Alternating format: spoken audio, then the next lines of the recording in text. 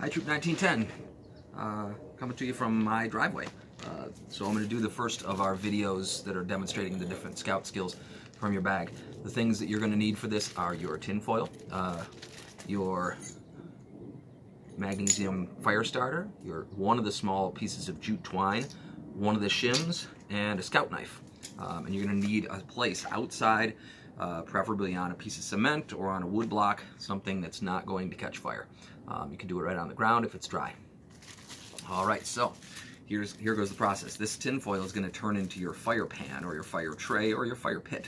Uh, so what I do is I just turn up the sides like this.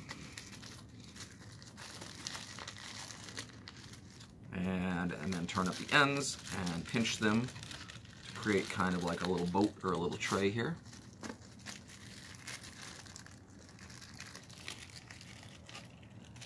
Show you the finished product once once I'm there. Ah, one doesn't want to go. All right.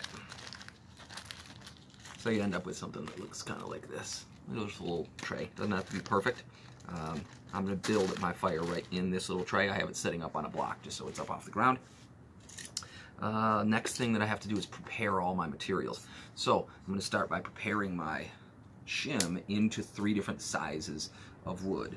And so as I'm working, I want to collect all this stuff. So I want some very, very small stuff. So I'm cutting away from myself and I'm cutting some very, very small pieces, and collecting them all up in a little pile. That's going to be my tinder. That's going to catch almost immediately.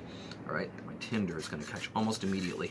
Right, and then I want some bigger, thicker pieces. So I dig in a little bit harder with my knife, and I might be able to pull some little bit bigger pieces off.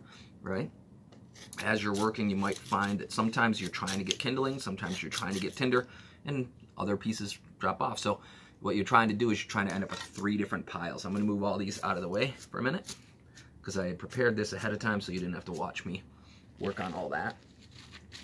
So what I have here is I have a little tray that's got all my different uh, sizes of wood. So this is my middle group right here. This would be my kindling. This is my fuel wood. They're bigger chunks of wood. They're just kind of bigger chunks of wood. They'll burn for a little bit longer. And I actually have two small piles, two piles of tinder. Uh, because what happens is I want to get one going at the start, and then if I start to lose my fire, I can put that other pile in there and it'll start up again. All right, so I have my wood prepared. Next thing I have to prepare is my tinder that's going to start my fire. Uh, one of these magnesium fire starters is very difficult to get to strike onto wood if you try to strike wood, you have to make it so fine like powder. Um, it's possible, but it's a little bit easier with, uh, with something that's already a small fiber. So what I'm doing is I'm taking the four strands apart. I took the four strands apart and I'm just gonna work on one at a time. I'm gonna twist it to make it release all the fibers so that I end up with just a real fuzzy, just a real fuzzy mess. All right, the softer and more fibrous I can make this. The lighter I can make it, almost like see-through. I'll just do one. I'm gonna pull those fibers apart over and over and over. It gets fluffier and fluffier. Ends up just like a little hairball. I'm gonna tuck that in the corner because I don't want it to blow away in the wind. And I'm gonna do the next one. So I'm gonna do all four of these same way. It's very important that I pull these tinders apart or sorry, pull the fibers apart to make good tinder. The more I pull those fibers apart, the better that's gonna catch. Put that with the other one, the easier that's gonna catch with my flint and steel. Pull these last two apart. So I know you're like, oh, do it faster, Mr. Beiter, but the whole idea of this is if I try to go too fast, if I try to do any of these steps, too quickly, I pay for it in the long run. I've started a lot of fires and had and, and, and lost them somewhere along the way. Lost the flame somewhere along the way before it really got going. It was usually because I didn't do enough preparation at the start.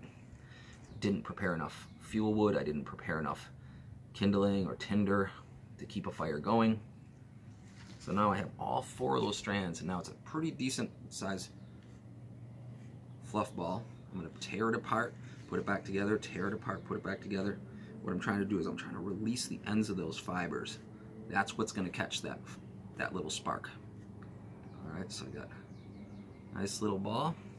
I'm gonna tuck it in the corner here so it's a little bit out of the wind.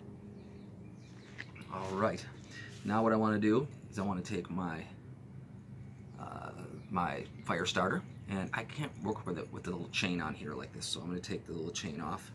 It just kind of comes off like that. Set that aside, I'll put that back together later on.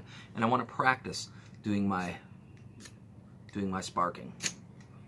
So what I'm trying to do is I'm trying to get this, this is the striker, and I'm trying to put it on the ferrocerium rod, the black part.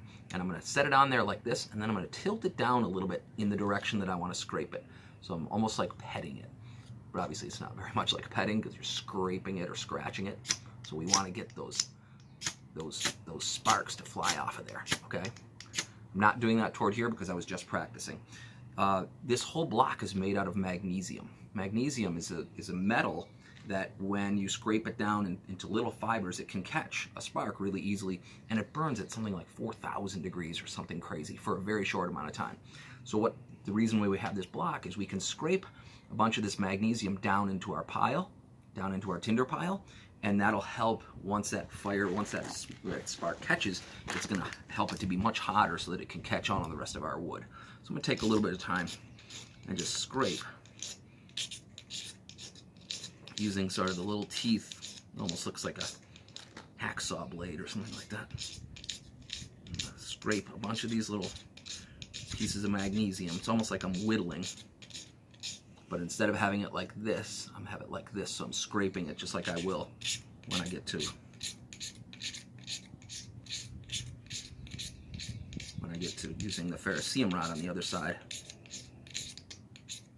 So I have a whole bunch of this collected right into my tinder. I can see all these little silver sparkles in my tinder. Ready to go there. Last thing I'm gonna do, I'm gonna get rid of that shim. That was our old one. I'm gonna take one of my piles, one of my small piles, just take a few of it, not the whole thing, just a little bit of it. I'm gonna pile it on top so that as soon as that tinder catches, it's gonna immediately start throwing heat toward those very small sticks and hopefully that'll catch quickly. My goal is to keep a fire going small for as long as I possibly can. All right, so here we go.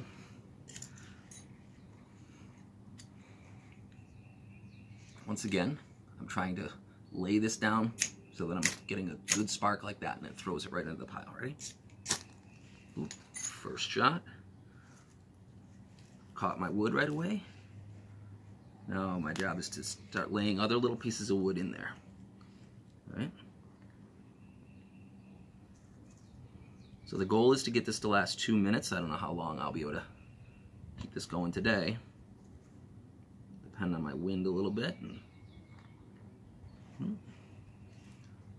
Sure I'm adding sticks onto the top of my top of my flame. I don't want to add too quick because if I throw it all in there right now, it'll make a big fire and it'll be out almost immediately. So I'm just adding little bits as we go, three or four sticks at a time. Oop, the wind's coming in. I want to protect my fire just a little bit. I have a little bit more of that tinder in my hand, so I want to hold that off just in case I have to get this thing going. I'm going to add some of my bigger sticks now because I have enough heat to be able to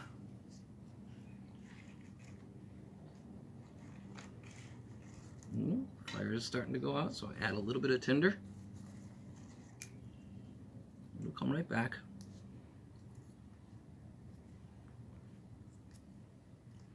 Get some of those bigger pieces in, and then I won't have to add quite so quickly. They'll take a little bit longer to burn through. And then I have a little bit of a fire to work with here, right?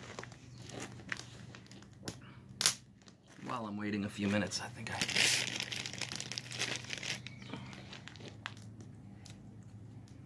got some tiny little marshmallows for my tiny little fire. I got some Tiny little marshmallows. Oh yeah.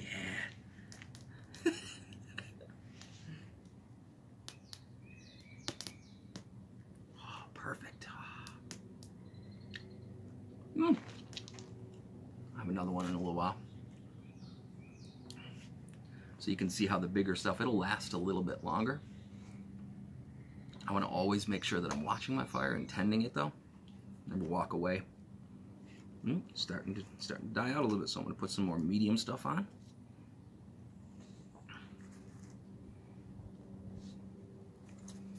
I'm gonna put a few more of the heavier pieces on there. Maybe they'll burn for a little bit longer. I'm trying to build it kind of just in one little contained area. One of my sticks got away. Try to get that in there. Here we go. Now they're catching a little bit more.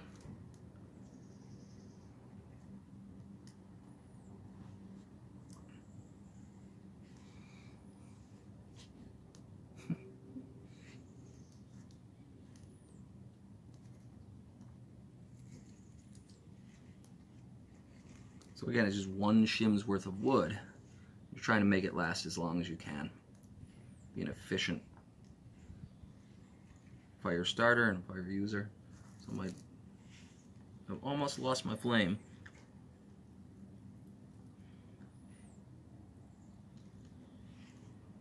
So I put some more, little bit, little bit of small stuff in there. Make sure it's got enough air to keep going.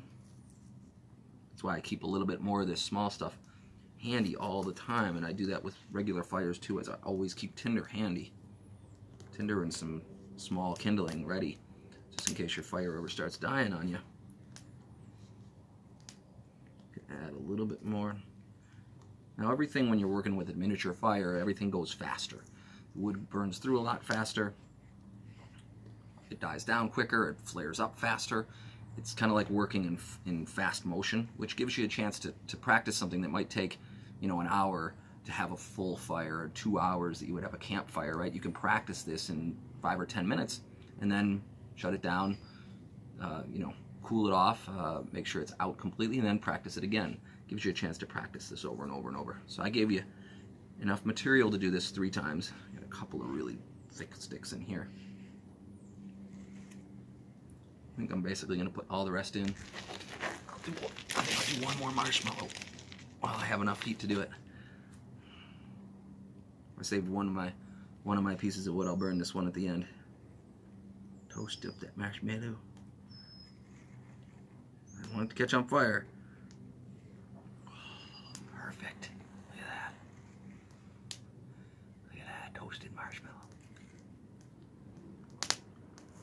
I'm just going to put the rest of my wood in.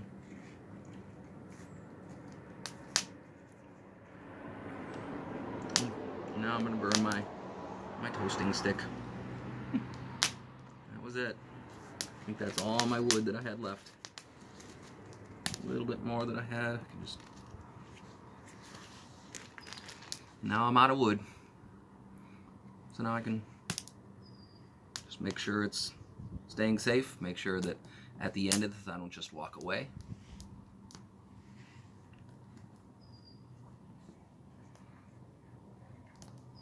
But when I get completely done, that, that foil pan's gonna be a little bit charred, but you can use it over and over.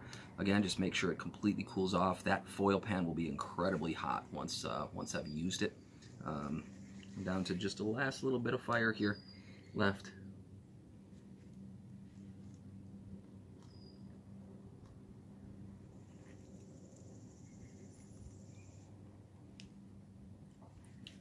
Last couple little flames here.